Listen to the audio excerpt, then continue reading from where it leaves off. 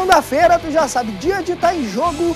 E hoje a gente tem muita informação esportiva, porque tem, olha, notícias interessantíssimas para quem gosta de futsal. A LAF venceu, eu poderia até dizer que foi de mão aberta, mas foi mais do que isso.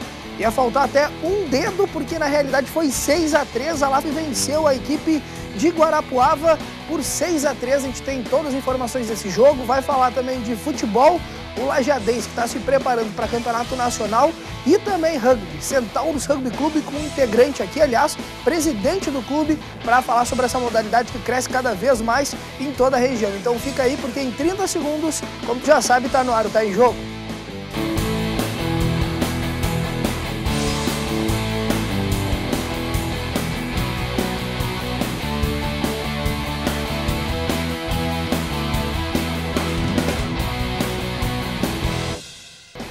Ao vivo pela TV Univates, tu já sabe, canal 15 da NET, totalmente digital. Um abraço pra galera da NET Lajeado, a TV Univates que leva pra ti ao vivo essa é a edição de segunda-feira do Tá em Jogo com muita informação esportiva.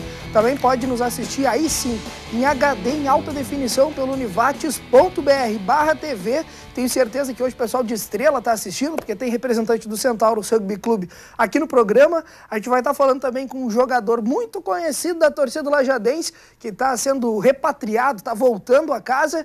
E aí ele vai estar tá falando também justamente dessa preparação do Alve Azul Começar mandando um abraço para toda a galera que sintoniza aí no Tá em Jogo e em especial para os torcedores da LAF. Vitória importantíssima fora de casa, 6 a 3 contra a equipe do Guarapuava. Depois de uma derrota no final de semana lá no Paraná, agora sim, veio uma vitória, vitória expressiva. A equipe do Guarapuava que estava lá em cima, na ponta da tabela, acabou sendo surpreendida pela LAF. 6 a 3 aliás, parabéns para o Silva.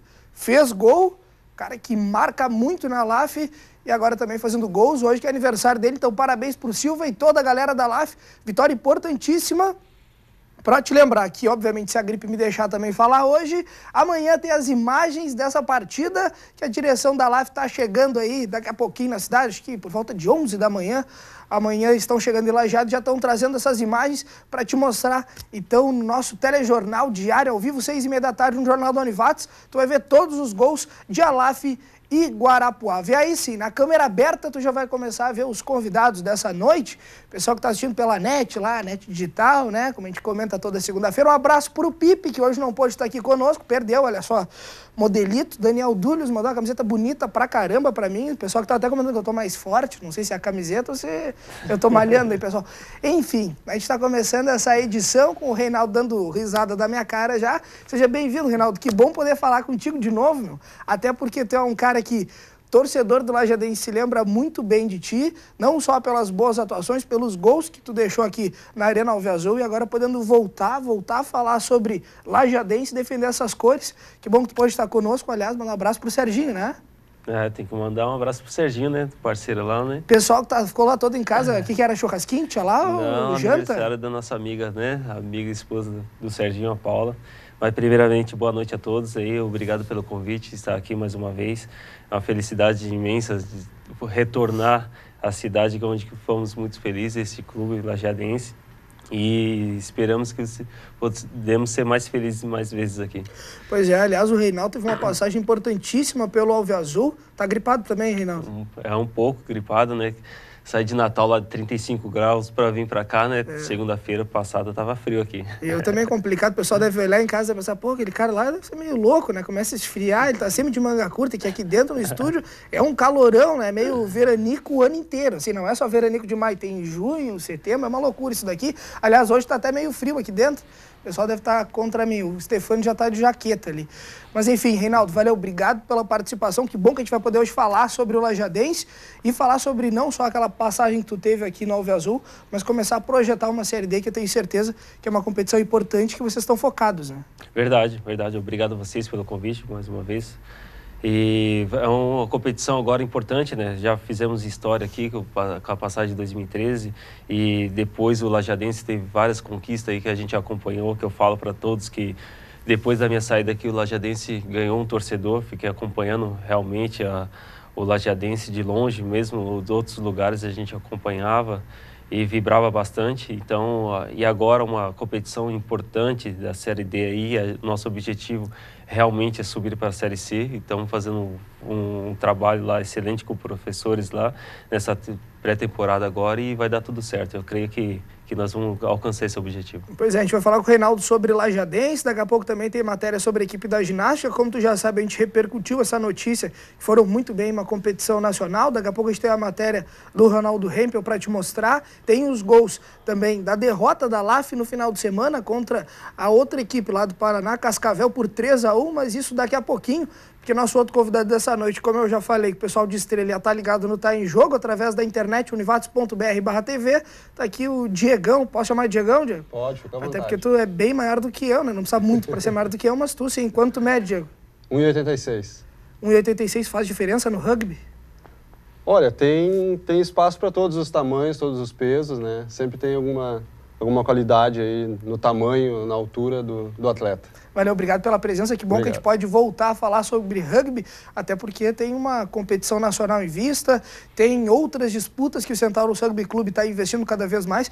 Que bom que tu está aqui, até para a gente conseguir cada vez mais estar tá difundindo essa modalidade. A gente tem uma mania aqui no Tá em Jogo de buscar falar, obviamente, do futebol, do futsal, do basquete, do vôlei, mas tentar mostrar outras modalidades, porque a gente sabe que o pessoal de casa muitas vezes não conhece. O Reinaldo já está balançando a cabeça, eu sei que ele gosta do rugby também. Daqui a pouco eu quero saber se ele vai topar um desafio e jogar, quem sabe com o pessoal lá em Estrela.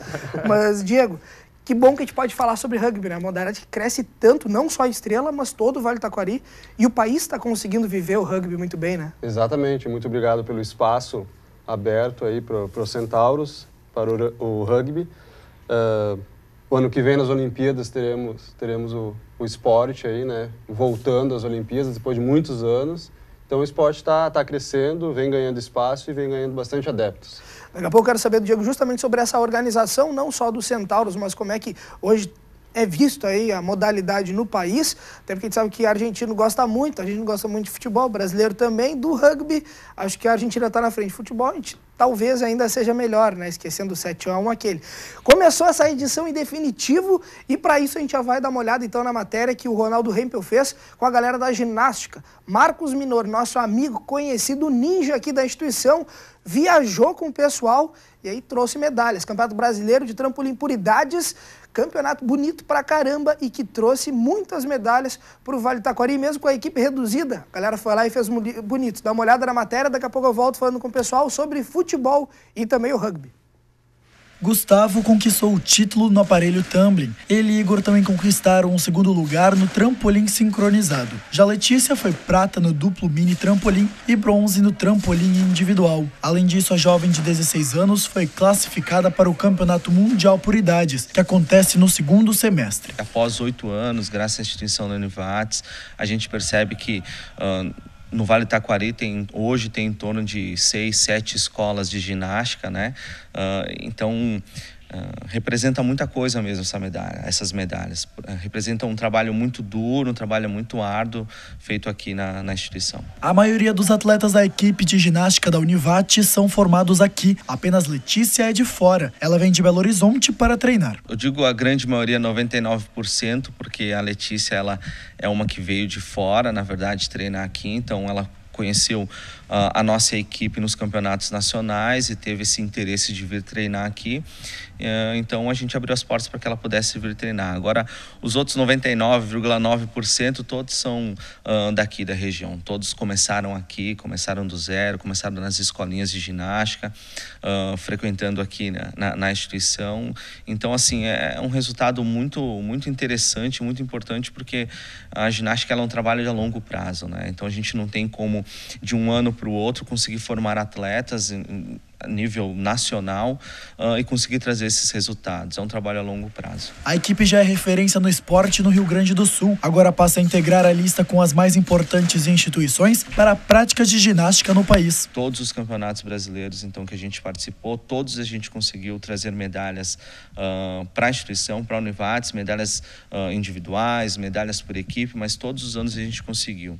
E o mais interessante é realmente as palavras dos árbitros, palavras de outros técnicos que estão aí há mais de 20 anos competindo, uh, elogiando o trabalho da instituição, da Univates, uh, elogiando que, uh, que todos os anos a gente tem participado e tem mostrado uma evolução técnica dos atletas. Agora a equipe se prepara para outros desafios. Tem então um campeonato Elite Júnior, agora no segundo, uh, no segundo semestre. E a gente tem o maior desafio, na verdade, que é o Campeonato do Mundo, que vai ser na, na Dinamarca. Né? Então, isso ainda ele é incerto, a gente está tentando buscar uh, alguns, uh, alguns caminhos ainda para tentar conseguir ver se a gente consegue representar a Univates mais uma vez. É, e bacana, a equipe de ginástica da Univate sempre indo muito bem, competição nacional. Aliás, quem vai para a competição nacional também agora é o Lajadense. Série D, na última segunda-feira a gente esteve aqui nesse mesmo programa, nesse mesmo bate-canal, né? Canal 15 da NET Lajada Digital. E estava aqui conversando com o Everton Giovanella, né? Agora presidente do Lajadense. E ele estava justamente comentando sobre a questão estrutural, questão de gestão do clube. E quando terminou o programa, o, o assunto foi tão bom aqui, o bate-papo, que a gente acabou nem falando justamente da equipe, como é que ela estava sendo modelada aí, como é que o pessoal estava montando o Lajadense dentro das quatro linhas. E aí eu transfiro essa pergunta para ti, Reinaldo. Como é que tu está vendo esse início de montagem de um grupo que está buscando um acesso para a Série C? A gente sabe que o Lajadense esteve aqui em 2013 está sempre galgando coisas maiores, o pessoal está conseguindo atingir objetivos, algo que para o Vale do Taquari é, é, excepcional, como diria o meu amigo mineiro, né, é fenomenal, mas como é que é para vocês agora, nesse novo grupo, nesse para ti, nesse novo recomeço, como é que tu está vendo a montagem desse elenco para essa Série D? Olha, eu, eu não conhecia a maioria dos jogadores, né? É, da, só, só mesmo o pessoal que teve comigo em 2013 mas ah, começando os trabalhos ali, depois a gente vai conversando com, com, com, os jogadores e vai conhecendo, a gente vê com um grupo de qualidade que foi montado ali, é escolhido a dedo mesmo, assim, selecionado pelo, pelo professor, pela diretoria. Então está formando um, um, grupo muito bom, um grupo que, que, que sabe o que quer. Né? Quando o grupo coloca isso na cabeça, sabe que é o objetivo nosso maior é é a Série C, é o acesso. Então, o grupo está sendo montado, estão trabalhando, os profissionais estão trabalhando forte mesmo, assim, que todos dedicando mesmo a, a parte física, a parte técnica. Né? Então, eu acredito mesmo que essa montagem está sendo, tá sendo boa e, e esperamos, como eu falei, esperamos esse acesso, tão sonhado acesso para nós. Pois é, Reinaldo, porque na realidade, quando a gente pensa em um campeonato de Série D, a gente sabe que é um campeonato forte. Quando a gente caiu numa chave aí, num grupo onde tem equipes renomadas, como o próprio São Caetano, que a gente sabe toda aquela ascensão, depois uma queda vertiginosa em campeonatos nacionais, time que chegou em final de Libertadores, campeonatos nacionais, depois caiu para uma Série D, que a gente sabe que para muitas equipes é um começo, como para o Lajadense agora que está buscando entrar nesse cenário nacional, para o São Caetano foi o fundo do poço, né? A gente teve outras equipes como o próprio Juventude, que passou por isso também. Como é que tu enxerga hoje enfrentar essas equipes. A gente sabe que tem um cartel aí de ter passado por outras equipes grandes. Como é que vai ser pro Lajadense enfrentar times como, por exemplo, a gente tem aí São Caetano, Volta Redonda, é isso, né? Redonda. Foz do Iguaçu, Lajadense e acho que é o Metropolitano, são as equipes que isso. estão no grupo do Alve Azul. Como é que está sendo pensado os adversários, cara? Olha aí, como você bem falou, São Caetano, né? São Caetano é a pressão é para todo lado deles, né? É, o São Caetano teve lá em cima, jogou Libertadores, Série A, então eles a pressão para o lado deles. É, é, a gente tem que fazer o nosso trabalho aqui, sabe que, que é um começo assim para o Lajadense para fazer história, né? fazer história para subir o time. Então, o, o Lajadense tem que pensar isso. A primeira partida, estou falando do São Caetano, que a primeira partida não fazer contra o São Caetano, deixar transferir toda a responsabilidade para eles, que é o, o, clube que, que, que, que, se for perguntar aí na, na fazer uma pesquisa, vão achar que o São Caetano é que vai subir. Então a gente tem que transferir tudo para eles mesmo e a gente fazer o nosso trabalho com os pés no chão e sabendo que nosso grupo é bom, que pode chegar. Bom, daqui a pouco eu vou continuar falando com o Reinaldo, eu vou voltar no segundo bloco falando sobre rugby com o Diego. Quero saber como é que está essa questão de campeonato nacional também para a modalidade, que eu vou te dizer que hoje nem é mais tão desconhecida, assim, porque o rugby com esse trabalho de Centauros está sendo muito conhecido no estado e agora acho que nacionalmente. Isso é assunto para daqui a pouco, depois do intervalo, eu vou dar alguns recados também da LAF, então não sai daí que daqui a pouco tem mais, tá aí, João.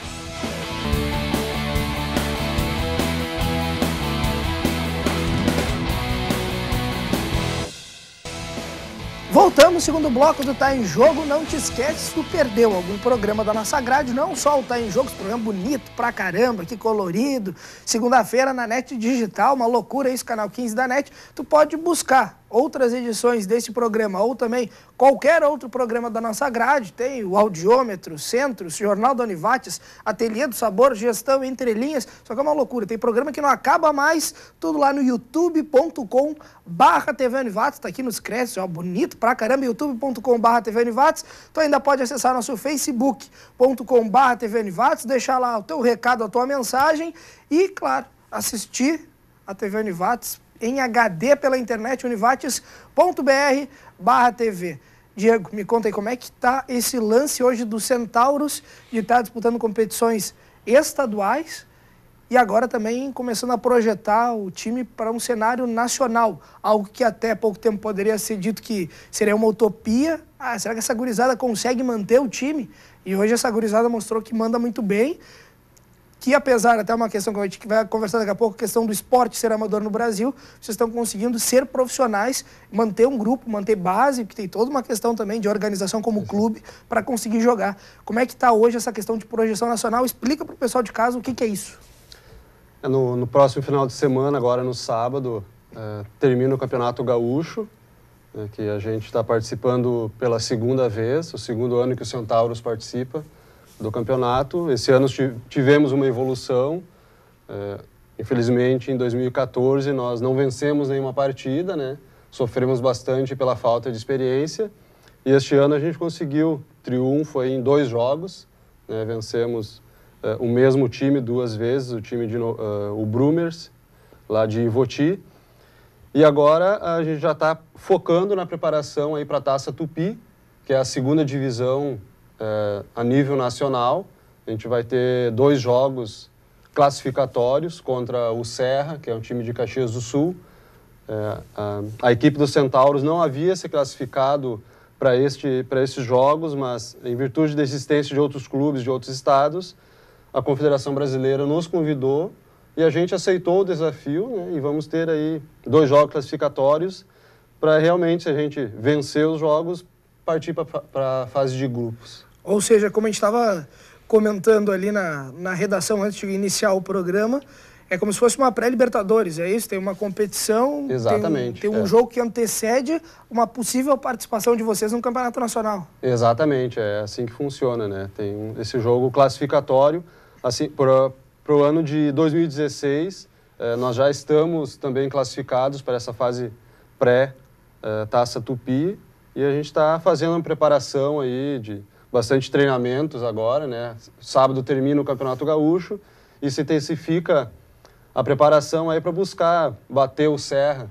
que foi o vice-campeão da Taça Tupi de 2014, que é um time forte, que está bem estruturado também. Mas a gente está fazendo um trabalho aí, a gurizada está treinando forte, o técnico está tá empenhado aí para a gente buscar um resultado bom. Reinaldo que estava comentando antes, o cara tem propriedade, fala de rugby, olha, não sei se ele não pensou algum dia em largar ali a posição de volante e virar um jogador de rugby, Ronaldo. Ô, Reinaldo.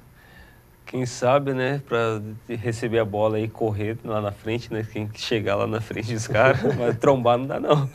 Mas, mas tu mas estava comentando, tu gosta da modalidade? Eu gosto, eu gosto, já assisti alguns jogos, né, assisti alguns jogos, como eu falei, é é, na Argentina a gente já assistiu alguns jogos, é, passou pela Austrália também, viu alguns jogos. E lá, no, lá em Natal tem um time, um time do, do Alecrim, em Natal, e a gente acompanha, tem amigos lá que jogam, né? Então a gente acompanha bastante.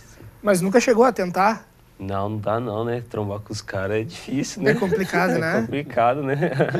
Mas como é que funciona justamente, Diego? Explica pro pessoal de casa. E a prim... eu, antes eu tenho uma pergunta para te fazer.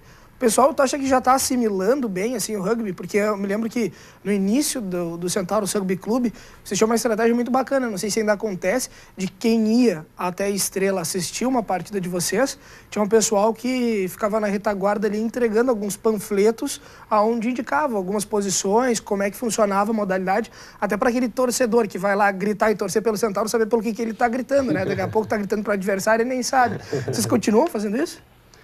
Uh, essa parte de, de, panfletos esse ano a gente não fez. Assim. Mas o pessoal já entendeu, então? Já, ideia. o pessoal tem entendido bem, né? Já é um esporte que o pessoal de Estrela tem acompanhado bastante, o pessoal de Lajada também tem bastante amigos dos atletas daqui, porque é, a sede do clube é em Estrela, né? Mas metade dos atletas são aqui de Lajado. Né? E tem um pessoal de Taquari também que nos acompanha. Possivelmente o pessoal que já saiu do Centauros, porque a gente tem vários ex-jogadores já, apesar de ser um clube recente. Tem vários jogadores que a gente for começar a lembrar e que iniciaram, daqui a pouco acabaram abandonando, ou porque tinham outras oportunidades, ou porque tinham outras tarefas, mas continuam levando os Centauros à imagem do clube, né? Isso, exatamente. É, nem todos os atletas conseguem é, dar continuidade nos treinos e participar aí do clube é, pela dedicação que se exige, né? É um esporte amador, é, todo mundo tem o seu trabalho, tem o seu estudo, né? E, e depois disso que, que vai para os treinos. Treinamentos é, quantas vezes por semana? Três vezes por semana, é, terça-feira às 22h30 até a meia-noite, né? Aí na quinta-feira um pouquinho mais cedo, das 21h30 às 23 horas e no sábado à tarde. É, então exige bastante dedicação, não é todo mundo que consegue acompanhar o grupo. Tem toda a é. questão até de metabolismo, né, pessoal, que daqui a pouco não vai aguentar mesmo, né? Exatamente, Porque daqui a pouco não é. tinha que acordar cedo para trabalhar e tal. Reinaldo, que jogador de futebol profissional, teve passagem por vários países, como ele estava comentando. E a rotina de treinamentos é uma rotina exaustante, né, Reinaldo? Verdade, verdade. Uma rotina assim que você tem que se policiar muito, né? Se policiar muito na, na, na é, descanso é muito importante, além do, do trabalho, dos, treinos, dia a dia, alimentação e o descanso é importante, né? Como tava falando, o amigo estava falando aqui do rugby, assim, que treina 11 horas da noite, meia-noite, eu estava imaginando aqui e às vezes outros os jogadores vão trabalhar de manhã, é difícil, mas a gente torce para que, que, que, o rugby também possa crescer bastante no Brasil, né? Como assim como o futebol cresceu, o vôlei, depois veio as outras modalidades, que o rugby possa crescer com as Olimpíadas aí, possa crescer bastante, que possa ganhar mais torcedores aí e o nosso Brasil possa ir à frente, né? Pois é, a gente tem aí inúmeros casos, por exemplo, de jogadores de futsal que tentam um futebol de campo, né? A gente tem Falcão, Manuel Tobias e estrelas aí que tentaram, muitas vezes não conseguiram, Mitchue. Tem vários jogadores que saem da modalidade e vão para outras por ser semelhante. Mas dentro do rugby, já teve algum jogador, Centauros, por exemplo, que era de outra modalidade, o cara, sei lá, era um possível jogador de futebol profissional porque tinha talento, daqui a pouco abandonou? Tem algum tipo desses não, casos? De futebol não, a gente tem, é, tem uns três atletas aí que eram da canoagem, né? É, o tempo da canoagem estrela, que, ela, que era bem forte ali, é, jogar, é, participaram de competições a nível nacional aí na categoria juvenil, quando ele, eles eram mais novos. Era um pessoal que tinha um futuro na canoagem, assim, mas outros, assim, não me recordo agora que tenha tido a oportunidade de, de um outro lado profissional no esporte. Porque no futebol a gente sabe que o cara tem que ter dom, tem que ter talento, né? Tem que saber bater na querida, tem que ser aquele cara que tem entrosamento com a bola. Eu tento, pô, Felipe Stefani aqui com a jaqueta de couro aqui, que o pessoal não tá vendo em casa, mas é elegante pra caramba. Tenta, mas o cara só se defende, né? É aquele negócio meio difícil. Mas pro cara que joga rugby, tem alguma característica específica que tu olha assim, putz, cara tem jeito? É, a gente percebe, né? É, a gente visualiza um atleta lá quando está indo no primeiro treino, a gente já imagina ele em determinada posição aí é, do time, né? Fazendo o seu trabalho.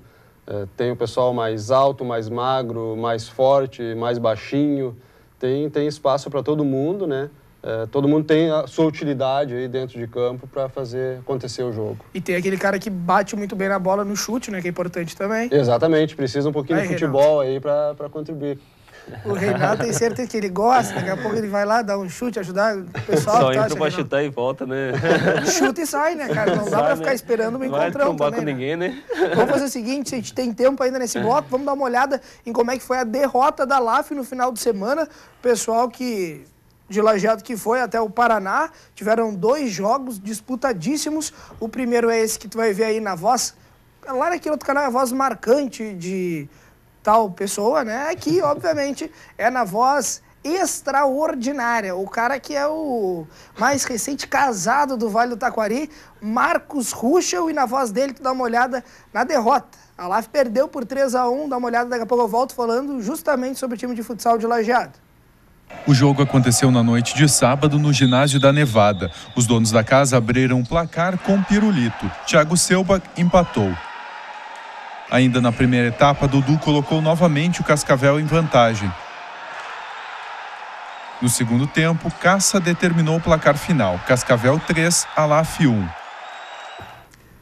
Tá aí, nesse jogo que ainda teve o Rafinha levando mais um cartão amarelo, mais amarelo, foi suspenso e aí não pôde jogar hoje. E também teve a expulsão do goleiro Chico, e aí desfalcou também a LAF, que jogou faz pouquinho tempo de novo no Paraná e agora venceu por 6 a 3 se não me falha a memória. Tá perdendo de 1 a 0 depois conseguiu o um empate com o Jones, teve o 2 a 1 para a equipe da casa, depois empatou de novo o jogo e numa noite inspirada do Christian, o cara fechou o gol e aí teve uma vitória surpreendente porque conseguiu bater uma das equipes que está lá em cima no topo da tabela, está trazendo mais três pontos para Lajado importantíssimos. Amanhã de manhã a delegação já chega em Lajado, porque no final de semana, dia 13 de junho, aliás, dia importantíssimo, né? Dia do Santo Antônio, Santo Casamenteiro, dia 13 de junho, sábado, a Alaf vai enfrentar o Atlântico de Erechim, time do Galo, time que é experiente pra caramba nessa competição também, mas não tá indo muito bem. E a LAF vai enfrentar o Atlântico de Erechim no Complexo Esportivo, 7 horas da noite. Tem cobertura da TV Univates, tu vai ver tudo, obviamente, aqui no Jogo, segunda-feira que vem. Parabéns para a equipe da LAF. Eu volto falando com o Reinaldo, porque tá acabando esse bloco, mas eu quero saber de ti, meu.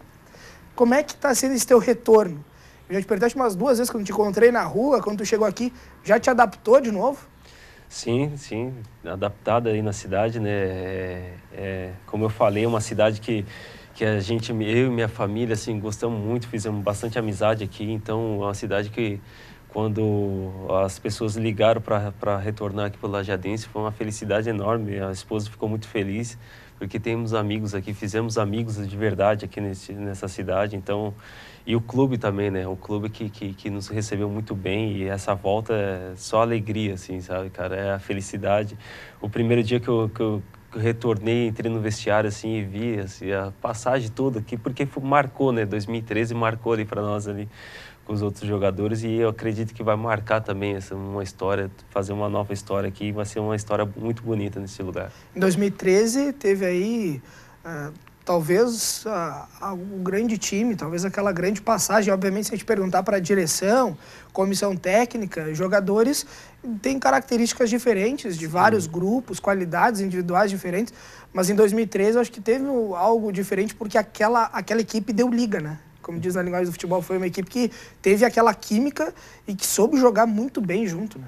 Verdade, deu liga, né? A gente é, todo jogo para nós era uma decisão, né? Nós colocamos na cabeça que todos os jogos eram uma decisão. Se a gente não pudesse ganhar o jogo, também não perdia. E ali é, nós conseguimos fazer os resultados, conseguimos ter vitórias e, e, arrumar uns empates fora de casa, somar pontos e graças a Deus no final ali, infelizmente não fomos campeões, mas conseguimos aí um, um algo que ficou para a história do Lajadense. A gente vai para o intervalo, daqui a pouco quando eu voltar eu volto falando de novo com o Diego, porque eu quero saber justamente dessa preparação para esse jogo importante que eles têm pela frente, final também de Campeonato Gaúcho. E aí eu quero saber também do time feminino se ainda tem, não tem, categoria de base, a que ponto anda, anda o Clube Centauros, porque tem isso aí, né? Não é só um time, é um clube, mas isso só depois do intervalo, então não sai daí.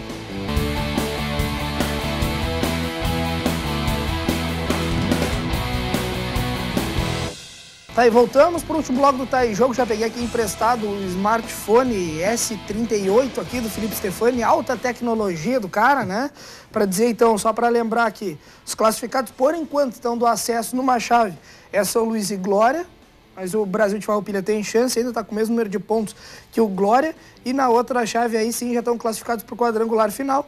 Guarani de Venâncio Aires, quem sabe o Guarani de Venâncio voltando ano que vem para o Gauchão, isso ia ser fantástico, vem para a região, rivalidade com o Lajadense. Aliás, esse treinador do Lajadense está lá, né? O Fabiano Daitz e o São Gabriel, né? Então tá aí as equipes que vão estar tá disputando o quadrangular final para conseguir o acesso, porque tá ficando difícil, hein, Reinaldo? O cerco está se fechando e quem cai agora, pô, tá cada vez mais difícil. Tem times extremamente tradicionais do futebol gaúcho na divisão do acesso, só sobe um, E a gente tem aí equipes como o próprio Brasil de Farroupilha, Pelotas, agora Caxias, equipes de nome, de tradição, camisa, e que vão ter que estar tá brigando por uma vaga. Verdade. Isso só mostra que o futebol está ficando nivelado, né?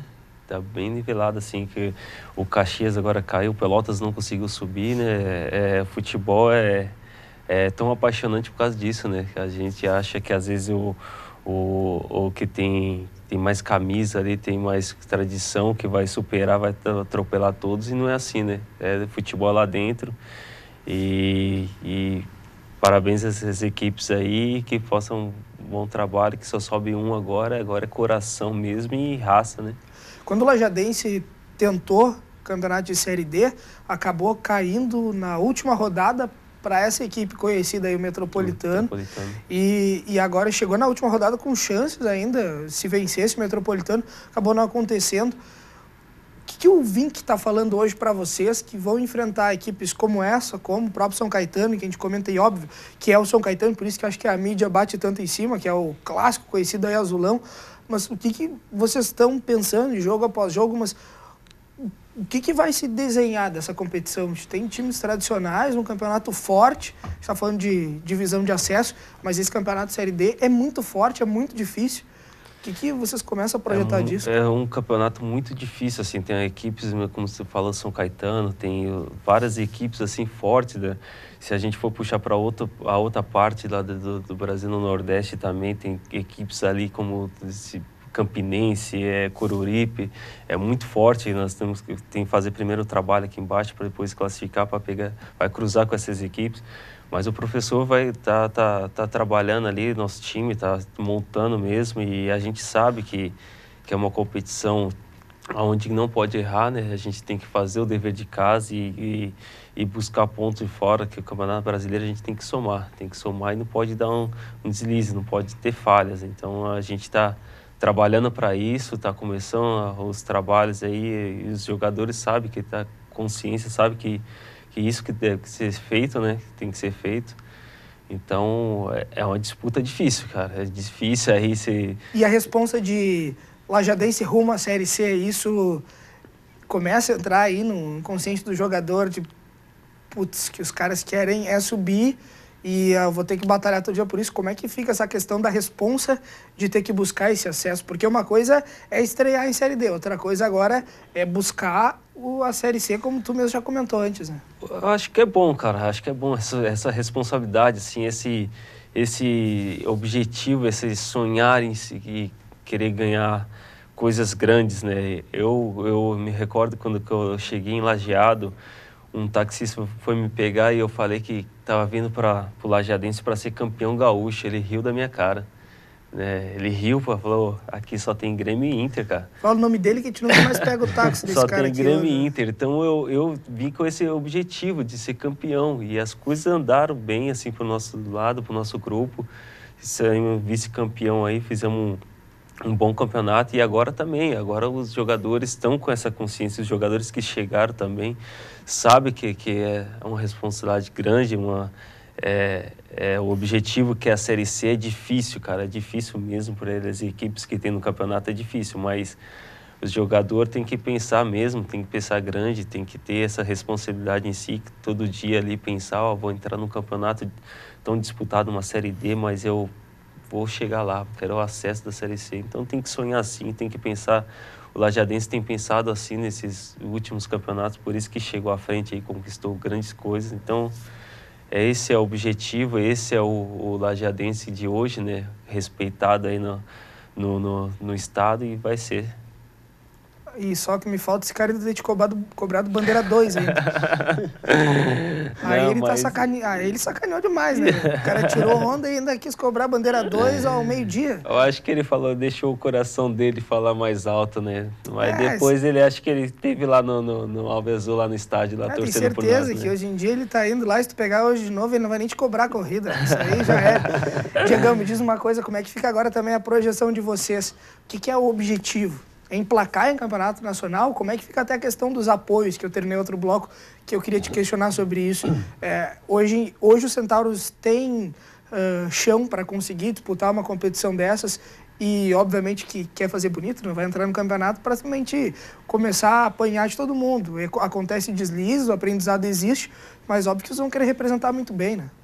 Correto, a gente está buscando é, consolidar o grupo né, de atletas que vem treinando aí há bastante tempo é, para fazer bonito, para buscar a vaga, para representar bem o Vale Taquari aí e conseguir sempre mais apoio né, de empresas, patrocinadores, porque o, o esporte, como ele é amador ainda, uh, se exige bastante financeiramente dos atletas ainda, né? A gente contribui com mensalidade, tem bastante gastos que, que exige, né?